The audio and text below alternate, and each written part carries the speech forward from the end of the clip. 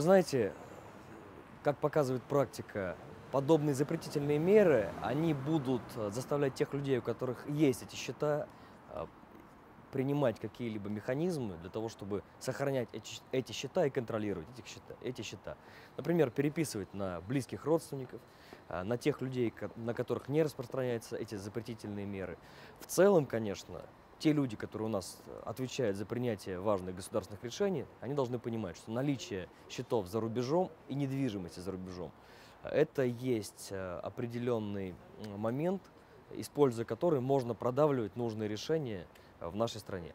Но мы должны еще понимать, что наличие той же недвижимости часто сопряжено а, с тем, что счета в обязательном порядке должны быть для оплаты тех же услуг ну, ЖКХ в нашем понимании.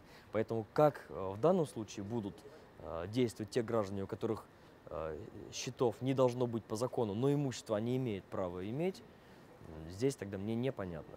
Хотя, конечно, деньги нужно хранить здесь, но нужно поддержать инициативу ЛДПР, объявить всеобщую экономическую амнистию. Только тогда деньги могут сюда вернуться и работать на нашу экономику. Когда же деньги лежат за рубежом, они не работают на нашу страну, и тот огромный поток денежных средств, который ежегодно выводится за рубеж, конечно, это бьет э, не только по экономическим, но и по геополитическим интересам нашей страны.